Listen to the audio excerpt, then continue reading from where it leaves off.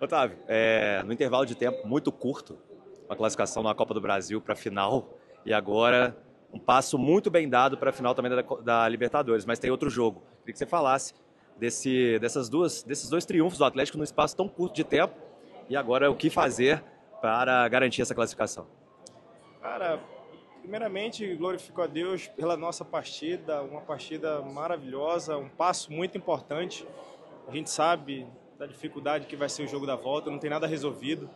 Sem dúvida, a gente construiu um bom, um bom resultado, né? Foi uma primeira, primeira parte da decisão.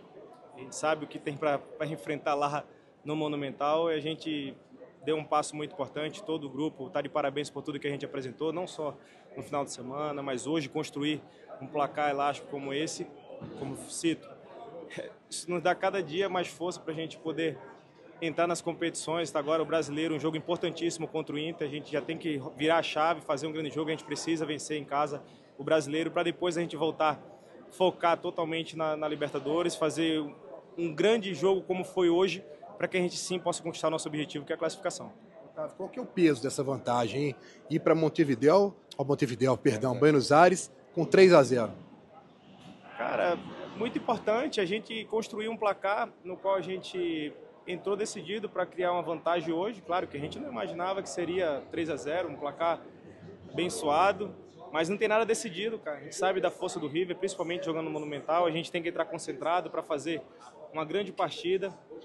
Aí sim a gente sacramentar a nossa classificação, mas o que a gente construiu hoje foi só a primeira parte. A gente sabe da importância que tem iniciar uma decisão abrindo uma vantagem, mas sem dúvida não tem nada decidido. A gente tem que entrar focado, concentrado do primeiro ao último minuto para lá no final, depois dos 95 minutos que faltam dessa decisão, a gente possa sim comemorar a nossa classificação. Otávio, só, só, só conta pra gente, só, né? Hoje ele teve o falso Vera.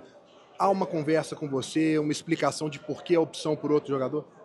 Cara, eu sempre deixei bem claro, sempre falei da qualidade do nosso elenco, de todos os setores.